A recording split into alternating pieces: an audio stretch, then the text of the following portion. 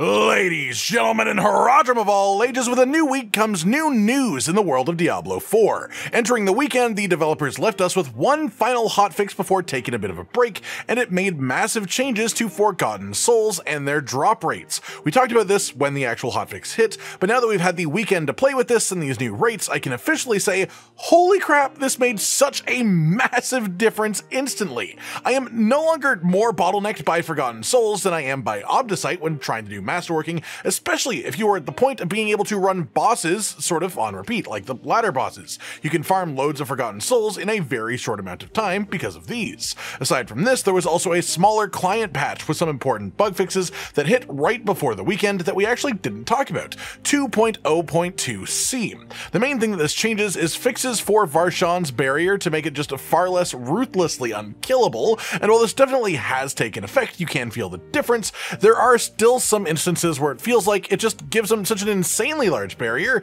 then so much larger than it should be, and it makes it very difficult to kill if you aren't a Spiritborn. It's far less frequent than it used to be when this happens, but it still feels like it exists, so I would say just stay cautious, especially if you're on a hardcore character. Don't necessarily go into this until you know for sure that you're good. The other main fix was for a bunch of people who literally just could not log into the game at all. An error was starting to spread around, which just prevented people from going in, so they squashed it as quickly as they could. Then just some other various bug fixes happen in the patch. That covered then there are a few other things to be aware of in the community, but they mostly center around one big topic, game updates. We know that there are more hotfixes planned in general, and we should expect one every couple of days really for the time being, but then there are a number of breadcrumbs to be followed towards a client patch that will be happening for the game relatively soon, and what might be a part of it. The specific patch then would be called 2.0.3. We see this reference to in responses about the Lilith Resplendent Spark bug, which makes her just not drop it for some people, and we've been told that when this is fixed, it will also retroactively apply to give people who have already killed Lilith their own Resplendent Spark. The other main thing that we are pretty certain about is the return of the undroppable items. Before the season started, a forum post went out by the devs warning us that four specific items had been disallowed from dropping or functioning in Season 6. Frostburn, Azurewrath, the Shroud of False Death, Mythic Unique Chest, and the Agile Wolf, Legendary Aspect for Druids. These were all causing some sort of problems, either for performance or for balance reasons, and were unable to be fixed before the season started, so what they did was just disable them from being able to drop for players before the patch hit. We've since been told then both that their return would be part of the first major client patch, and that they would be returning in patch 2.0.3, which means that 2.0.3 is the first major client patch, but you know, obviously, well, due to the general name of it going to a new number over previous patches, it could have been reasonable to assume it would be a major patch anyways, but this just confirms it.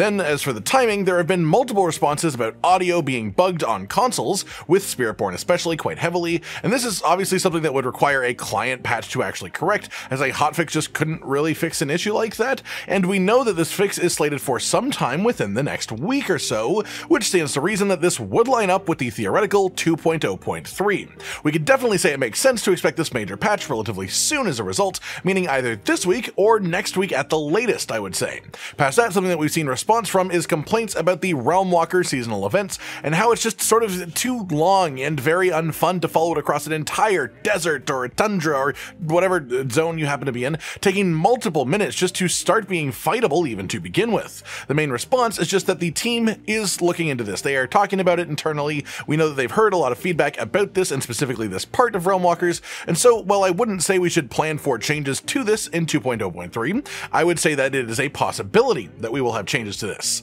Outside of that, there's a whole other topic for something that may be addressed in a patch with a full-on number increase, which is balance, specifically balance focused around bugs. There are theoretically a few bugs that are making various classes weaker than they should be and hopefully could be fixed to make them stronger. As well, uh, well, you know, there's also Spiritborn, who has a number of bugs making them much, much stronger than they should be, like hundreds of times more damage than they should be doing, like a Paragon node that is supposed to scale depending on maximum life, accidentally scaling based on your base life, which means that you can hit thousands of percent bonus damage by just stacking life as an actual affix, instead of what was originally intended to be capped at like a 33% damage bonus. So if you're wondering where Spiritborn silly damage is coming from, it's actually not purely because they wanted the expansion class to be strong, though I'm sure that is a part of it. It is heavily, heavily because of a number of different bugs that are overlapping and being smushed together by players. As well, there is the Evade Spiritborn build, which while not overly buggy in itself, is causing other players a bit of performance issues when used out in the open world. Lots of people saying that the lag it creates in something like Helltide can be unplayable if there's multiple Spiritborn with this build.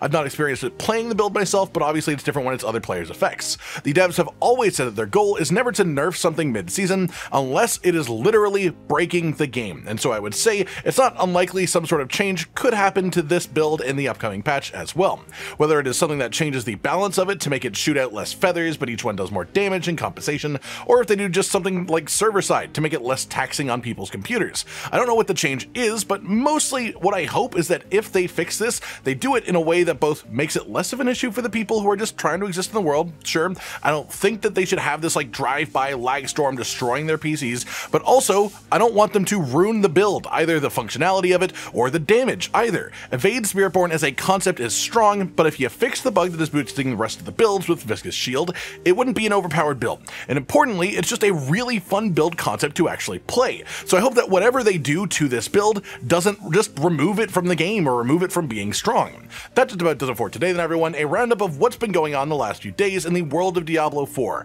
how we went into the weekend, the results of some recent changes, and the sort of expectations of what will be hitting the game over the next week or so. Like if you liked the video, subscribe to the notification bell for more, and most importantly, ladies and gentlemen, until next time, stay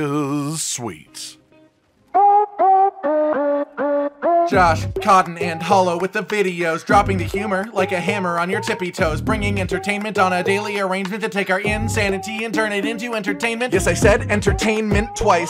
to reiterate that it is nice to look into your faces on a mostly daily basis when you let us in your homes to make the whole world a stage. Is uh goodbye.